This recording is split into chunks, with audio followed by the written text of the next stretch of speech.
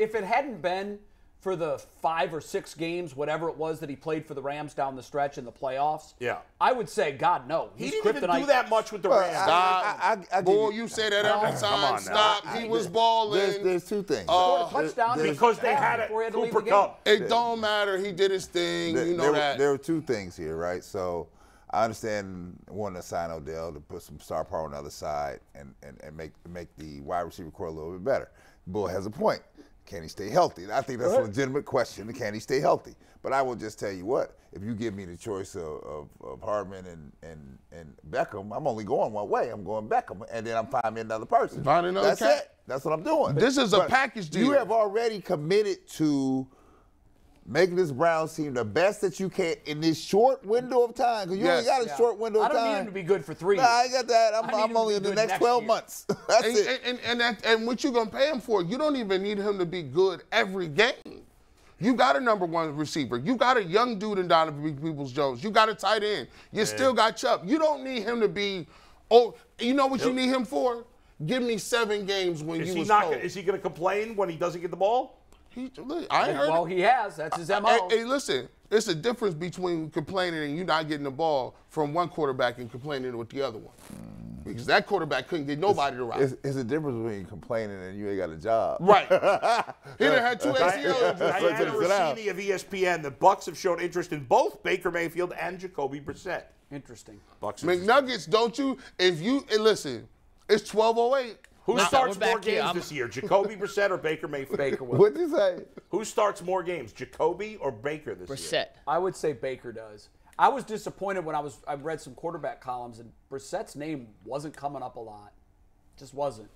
Which means that there might be a window for the Browns to bring him back. Good. Keep him right on up in here. in I would fold. love if they could bring Jacoby Brissett back. I would love that. And I, I, I imagine they have a number in mind Yeah. that if the bidding doesn't get to this point, we're willing to go to whatever it is. Bring you back. Because his familiarity in the system, mm-hmm. his likability in, In the, the in locker locker room. room. Yep. And it's, it was a love affair between the fans and him last Yeah, year, and he yeah. went four and seven. When was the last time a quarterback led the Browns to a four and seven record, and the fans loved him the way we love Jacoby Brissett? Yeah. Hey man, as long as they don't bring him in off the bench Four to throw one. corner For routes. four He played one. well enough for them to be seven and four. Yeah. He really Yeah. did. He did. They kicked away three games that if everything would have went their way and they can Why recover you an always onside why kick. you always reminding us of that? I know because it hurts. because the difference between seven and four and four and seven in this It's league, playoff run. it's three plays, Right, right. and it's the difference between being an also run, also ran, and being in the playoffs. Right, no question. So it's it matters. And I thought his play, based on his play last year, I'm not ready to go in with Mond. I'm just not as the backup. Because you think I don't that- think they will. well, just imagine if they do. You all the excitement that we're talking about. They've made the right moves. They bring in this. They bring in that. They've got the defensive lineman. They've got the wide receiver. And in camp, God forbid, DW4 goes down, and then we're looking at Mond as the orchestrator. Yeah, this is see, this is a great thing, man. Listen, the Browns are in a position where they doing something that that is two different things: shopping for your own house and getting stuff that you need just to hold you over, or shopping because you got an event at your house. When you shopping when you got an event at your house, you ain't looking like, ooh, this is six ninety nine. I don't know if I'm gonna be able to get that. No, you got people coming over. You can't be sitting here picking over different things. I'll pick over six ninety nine if I'm eating by myself. Look, you come in, they be like, G. Bush had a party at his house. That man had chips with no dip. he he he was rationing he was rationing the sugar on the, on that Kool Aid. Only one and a half slices of pizza. One and a half pieces, and, and you know it's bad when you got There's people serving. when, the pizza box. When they when you got your aunties or your uncles up there serving, oh. putting it in the plate for you, that means ain't no more food coming after that. That's right. We're gonna give you one slice apiece, and, you and you One you slice Better make it last. Look, you better look. We got water over here. They be like, "What happened to them sodas?" Straight waters. You got one case and it's open. You pick it from it. No, we ain't got time for that. It's a problem. So we're shopping like people are coming over. Yes, we shopping like we got company Hey, coming look, over. look, look, Your boss is look, coming look, over. It's, it's, Jesus like this. It said you go to the house and serve some liquor. And it's, it's the bottom shelf. You know, you like, what right. brand is this? The top shelf is for us. Hey, what- What's You guys get this bargain basement What is liquor. this? Wild right? Irish Rose. What is this? While we wait for news to break in the NFL, it's a good time to remind you guys the 12 o'clock lunch hour is sponsored by 2020. Kaulig Racing. There's a mad Kaulig dog Racing, your official party. Northeast Ohio NASCAR team. I can't believe it's 12 11 and we haven't had a I movie told y'all I know. McNuggets is looking bad. I know. Uh, the first free agent signing's official. Falcons re-signed fullback Keith Smith to a one-year deal. Is he one of the- I agent. told you only AJ interrupt with the quality signings. he said like, hey, the, the Falcons signed Keith Sweat. Keith Sweat is now the fullback. Wait, didn't he gas the Browns last year for 190 yards? Uh, the Patriots are expected to re-sign standout quarterback Jonathan Jones. He gets a two-year deal. oh my God. These listen, this is this Wait, is Jonathan Jones. Jones. Isn't it back? Defensive Jones? back. I thought Oh, it I thought he said standout quarterback. Corner, corner. oh, okay. Jonathan Sorry. Joseph. Uh, th- yeah, John they- jo- thought his name Josh was Johnson Mac. was the quarterback. Yeah. Yeah. Let's go to John. let's go to John Johnson.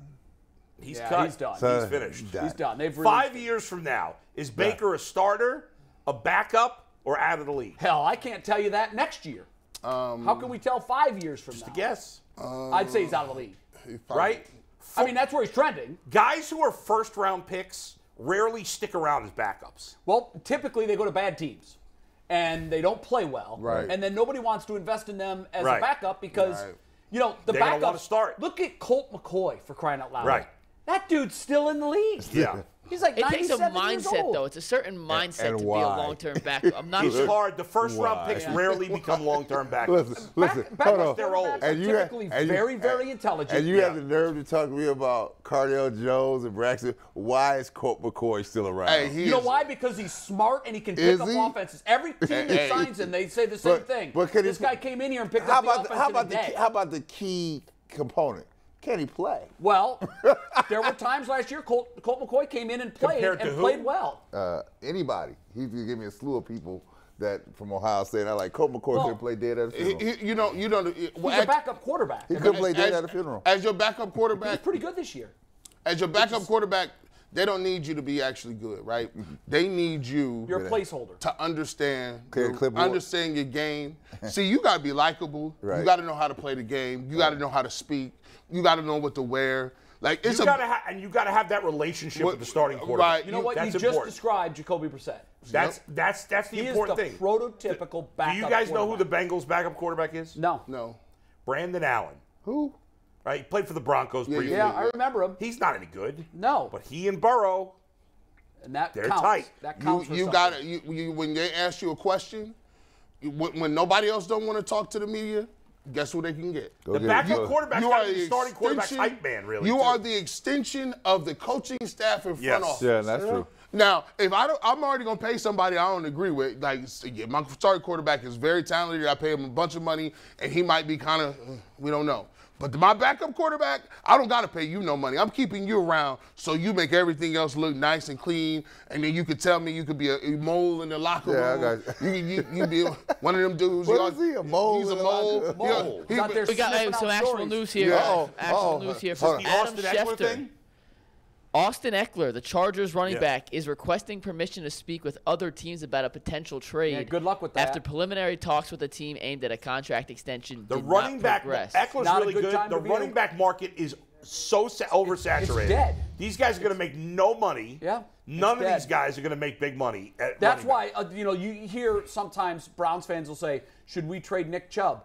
What are you going to get for him? Nothing. I mean, it's he's, he takes a huge chunk of your salary, and the way the running backs are used in the NFL today, you don't want to build your team around a running back, and that's what the Browns did. Hey, they they low key.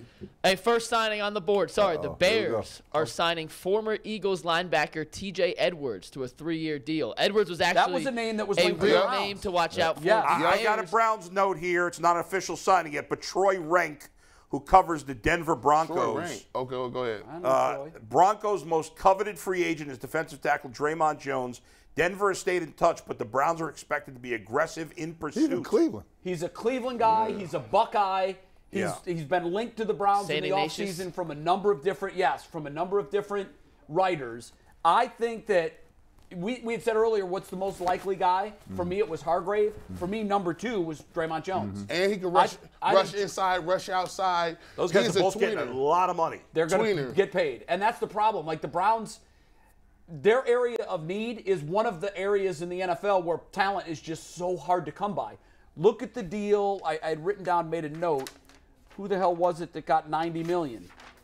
60 of it guaranteed. Yeah. Daron Payne, which and, Yeah, and now right, I know right. he's a he's a pretty much a bar setter. Right. But when Payne got 90 million for four years, 60 of it guaranteed to stay with the Commanders. Yeah. That doesn't help the Browns any because it goes to show you that the market's thin at that position and the price tag's going to be steep. But Jay, that brings me back to my point. At some point, you're going to run out. What are you going to do to? Because you need many more pieces, right? Yeah. And if you're using one or two guys to suck up all the cash flow, where you gonna get your other pieces from? Well, you've got three avenues trade, free agency, and draft. Right now, we're talking free agency. Right. And for me, I think that either Jones, Hargrave, or Cox, you've got to come out of this free agency period with one of those guys wearing an orange You helmet. have to have a sure thing at that position. So Yes. the So- second get guy one could be. How much- more of a question mark, but you got to have at least one sure thing at that How position. much? agree. How much? How much capital will be left to make? Plenty. moves? Well, I think there'll be enough. We talked about the potential for the Browns to have 40 million of cap space. Right now, it's at Up to 50 if they restructure. Uh, Yeah, I did see a number that said up to 50. I think that, that everything's got to go their way with these restructurings, and it's expected they'll happen like the Watson one did. If they get 40 million in available space, That's a lot. Then I want two name free agents because that's 20 million per. And if you can't win with those guys and the rest of the roster, and one of them's probably a defensive lineman and one of them's probably a wide receiver.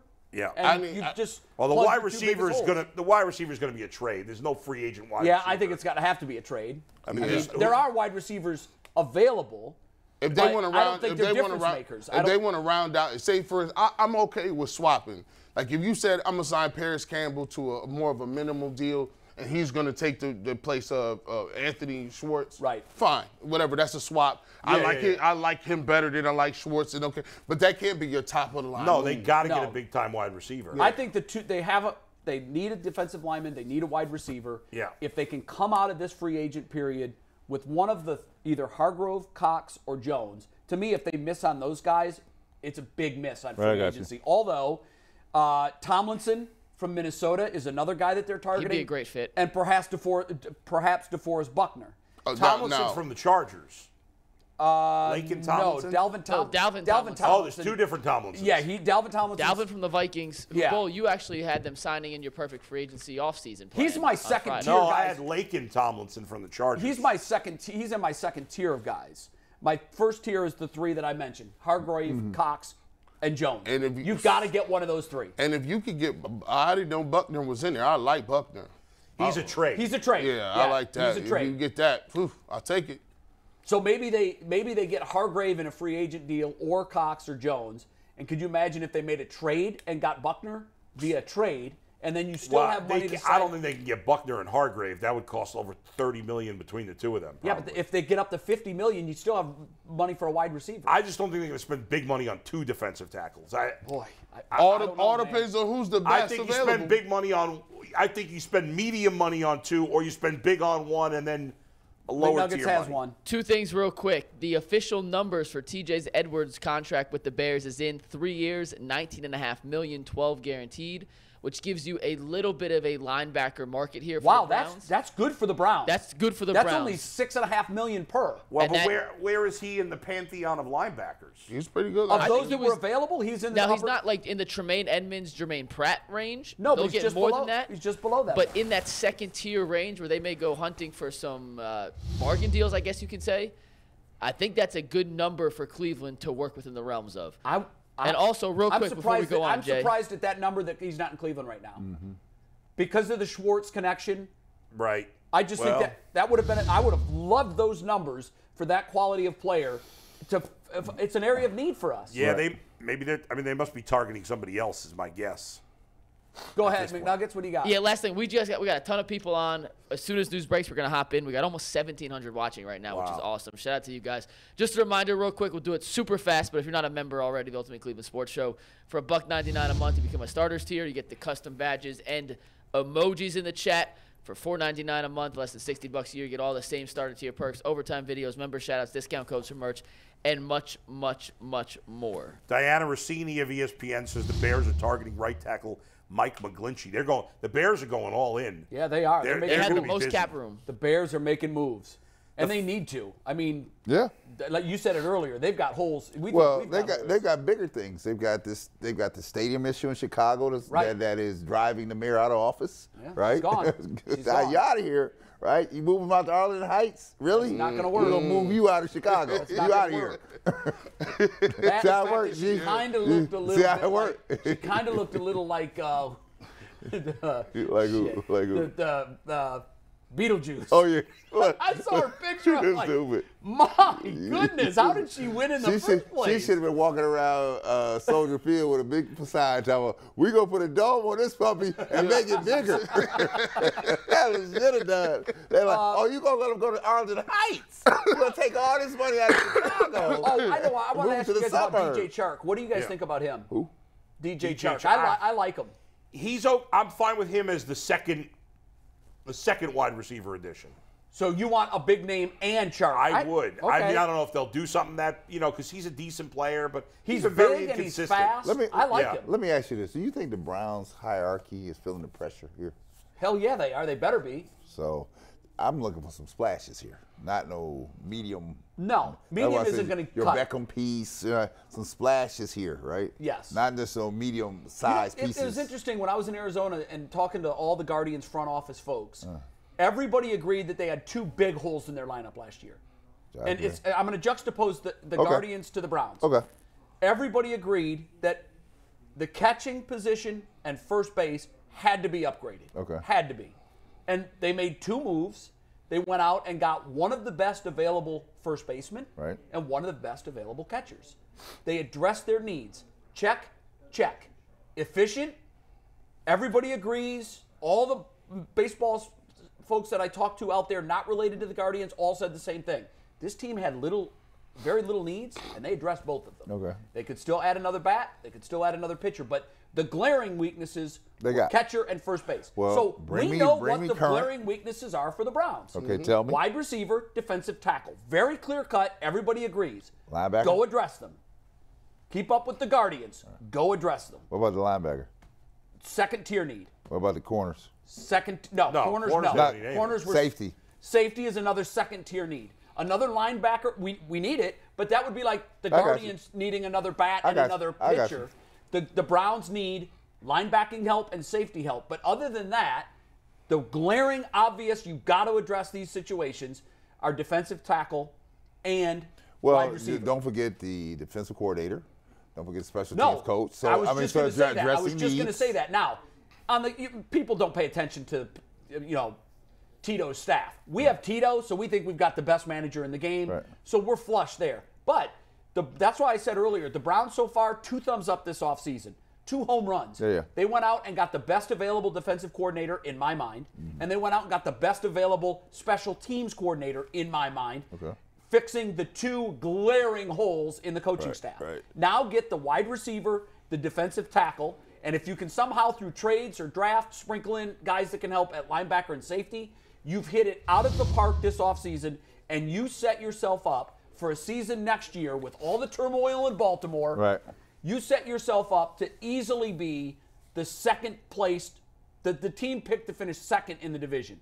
Behind the Bengals, they're not going to be able to do anything in my mind that's going to say, oh, you got to pick the Browns over the Bengals. Not before we know. Not how before we know how everything plays out. Wa- But bull. No, but I'm saying we're not going to know how good Watson's going to be until the season starts. So there's no way you could have Right. put You them did- over the Bengals. That's what I'm saying. Until you know that. So if we can, clearly, I think that we have leapfrogged the Ravens already.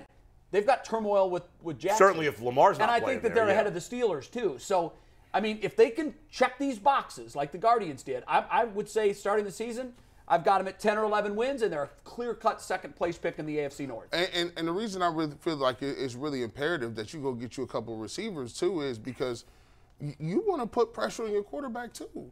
You want to let him know, hey, look, you know, last year you was a little rusty. That's cool, but we're gonna give you everything that you need to be successful. No excuses. No excuses. Yeah. Come on, you got Right. this guy, you got this guy, you got an offense lineman. We ain't, we ain't switched nothing up. It's the same coaching staff.